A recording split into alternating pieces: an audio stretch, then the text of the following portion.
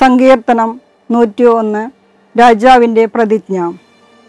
ഞാൻ കരുണയെയും നീതിയെയും കുറിച്ച് പാടും. കർത്താവെ ഞാൻ അങ്ങേക്ക് കീർത്തനം ആലപിക്കും.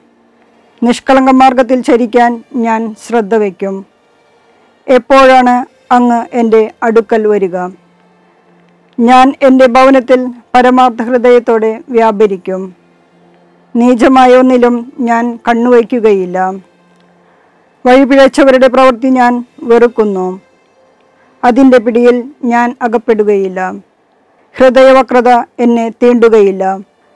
ഒരു തിന്മയും ഞാൻ അറിയുകയില്ല. അയൽക്കാരനെതിരെ ഏഷ്ണി പറയുന്നവനെ ഞാൻ നശിപ്പിക്കും. അഹങ്കാരിയെയും ഗർവിഷ്ഠനെയും ഞാൻ പൊറുപ്പിക്കുകയില്ല. ദേശത്തുള്ള വിശ്വസ്തരെ ഞാൻ പ്രീതിയോടെ വീക്ഷിക്കും. അവർ എന്നോട് തുവസിക്കും. നിഷ്കളങ്ക മാർഗത്തിൽ ചരിക്കുന്നവർ എന്റെ സേവകനായിരിക്കും. വഞ്ചന ചെയ്യുന്ന ഒരുവനും എന്റെ ഭവനത്തിൽ വസിക്കുകയില്ല. നുണ പറയുന്ന ഒരുവനും എന്റെ സന്നിധിയിൽ തുടരാനാവുകയില്ല. ദേശത്തെ ദുഷ്കർമ്മികളെ പ്രഭാതം തോറും ഞാൻ നിഗ്രഹിക്കും. കർത്താവിന്റെ നഗരത്തിൽ നിന്ന് അധർമ്മികളെ ഞാൻ നിർമ്മാർജനം ചെയ്യും.